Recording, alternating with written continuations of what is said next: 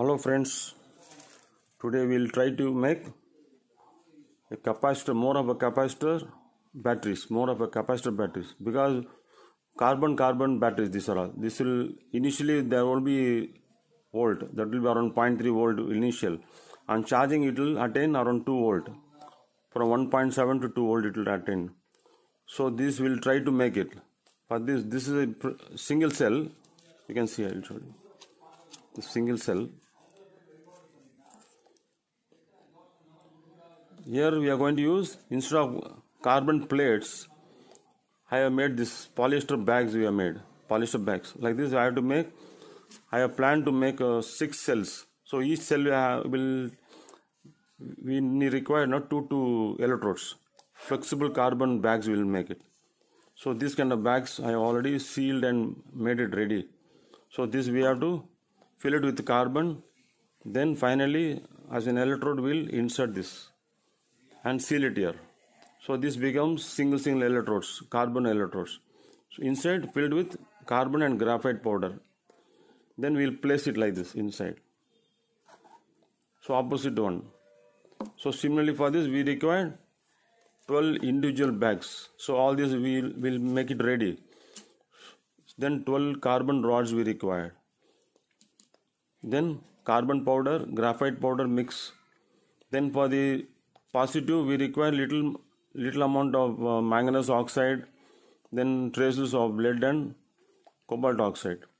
This I will show you step by step how to prepare. These are all first requirements. This all we have to make, keep it ready. These bags, then this container. This is how this is a single cell. I am just showing you single cell.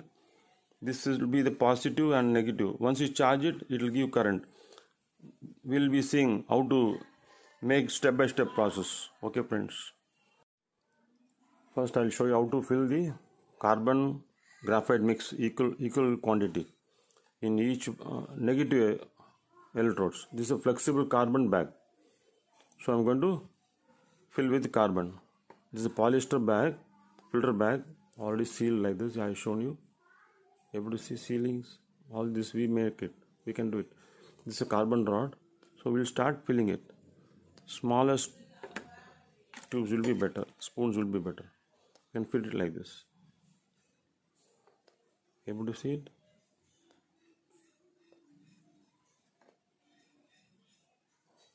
Okay, friends. This is how we'll fill it. Because uh, to buy a carbon plate, it will be costly.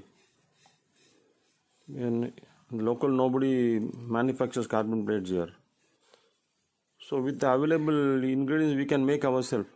Because we have carbon graphite powders available, carbon black powders available. This polyester cloth is available. Filter cloths, which are being used for vacuum motors, vacuum cleaners, no there. So we are filling it.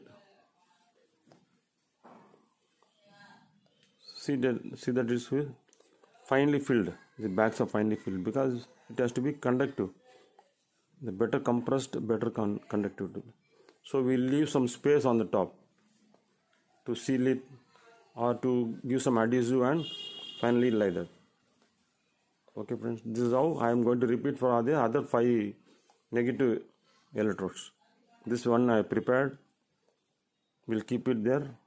Again, the second one. This is all carbon graphite rods, which is uh, which I have taken from the used batteries. It's- not available as such. These rods are not available. Only through used batteries we have to collect it. So now I am filling all this. We're able to see particles. So this becomes a flexible carbon electrodes because we are replacing the carbon plates. Carbon plates is still better. It will be still better. The space required for the batteries will be still small. We can make so thin batteries. We can make it with the available materials. No, we are making it. That's all. So now I have filled it. Like this, we make the other four. Okay, friends. I'll I'll make all like this six numbers. This is called negative electrodes. Then for the other positive electrodes, I have to add similarly same. In this, we'll add little amount of manganese oxide, traces of lead and cobalt oxide.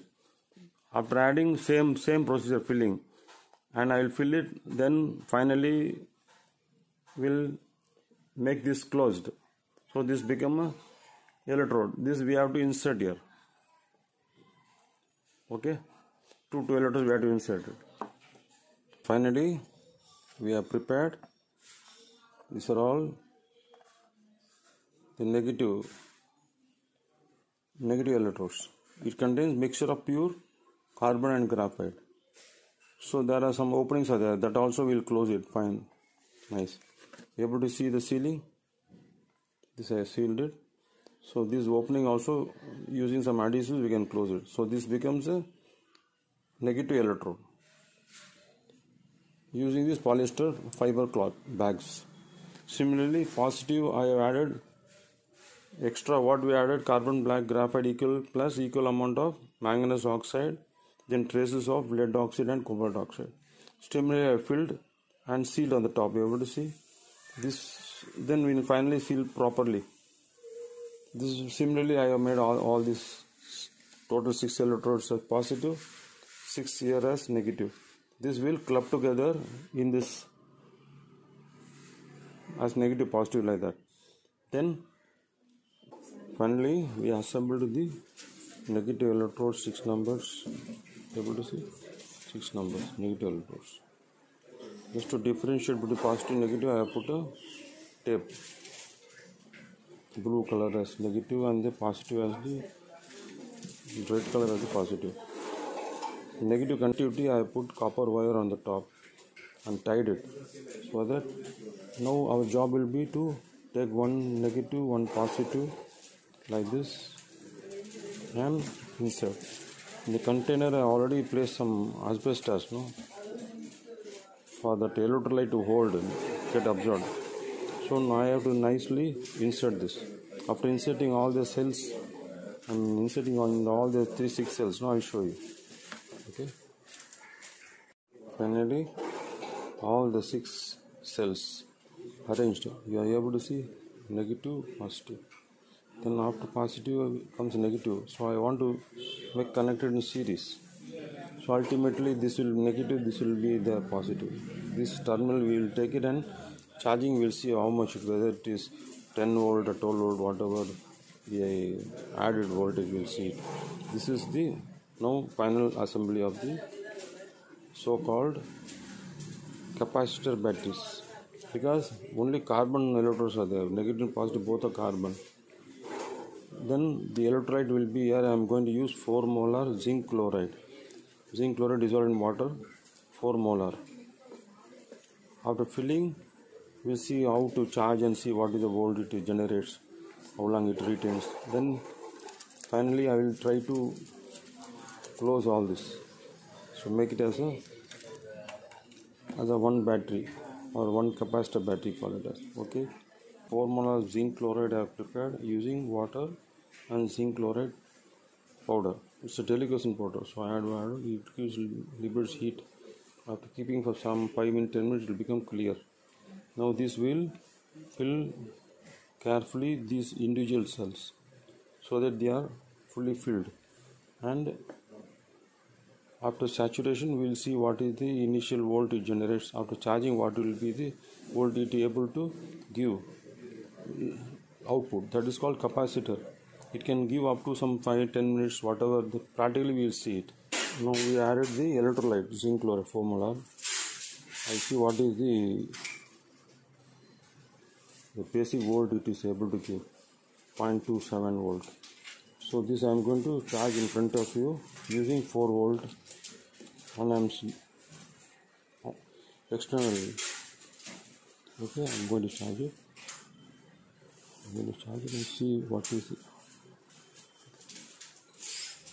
Yes i'm charging it. I've charged it using 4 volt dc you see what is the volt it is okay attained able to see 1.83 similarly i am going to see this is the second cell how much it is? 0.3 after charging? Similarly like this it will be. See. 1.8 1.7 slowly it will uh, reach up to 2 2.1 so this similarly i'll charge it and see how the cells are working. Then i'll close it and give serious serial connections and see what is the final output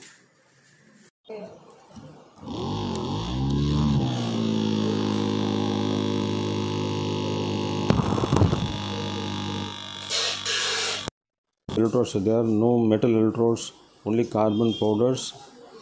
So after charging it attains that current so it is liberating those voltage charged voltage. So this can be clubbed with the regular batteries to prolong the mileage of the electrical vehicles. Okay. So limit for this.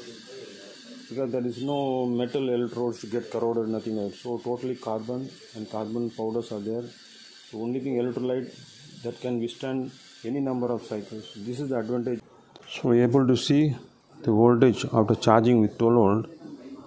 It is around 9.4 still it will go better. Depend on the saturation it will still attain better. So it is around 9.3 we will connect the motor and see how far it is running. So i connected